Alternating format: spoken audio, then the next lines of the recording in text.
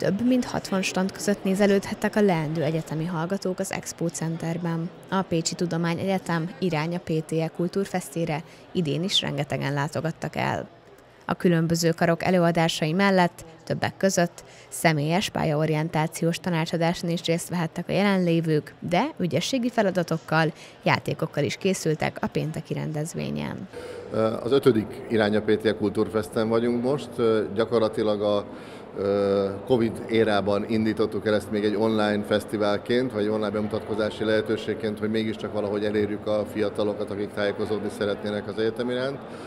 Szerencsére most már ezt a valós térbe tudtuk kihelyezni, és úgy számoljuk, hogy a, a mai napon mintegy 4000 középiskolás látogat el ide az Expo Centerbe.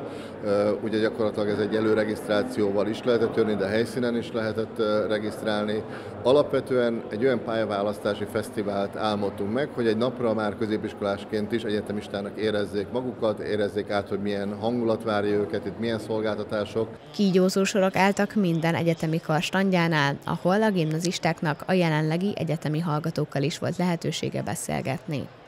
Érdemes már az első két gimnáziumi év alatt eldönteni, milyen irányba szeretne valaki tovább tanulni, hiszen így ilyen rendezvényeken is céltudatosabb, és minél több alkalommal jön, annál megfontoltabb döntést hoz majd a pályaválasztással kapcsolatban. A hangulat nagyon jó, nagyon sok nyereményjáték van, amit nagyon érdemes kipróbálni, illetve sok kérdésemre is már választ kaptam, úgyhogy érdemes volt eljönni. Nagy Lajosba járok, és itt a PTN az AOK-ra szeretnék majd tovább tanulni. Igazából a biológia meg a kémia nagyon érdekel már régóta, és ez az az irány, ami így a legjobban érdekel. A Kultúrfesten nem csak a diákokat, de a szüleiket és a pedagógusokat is szívesen látta a Pécsi Tudományegyetem.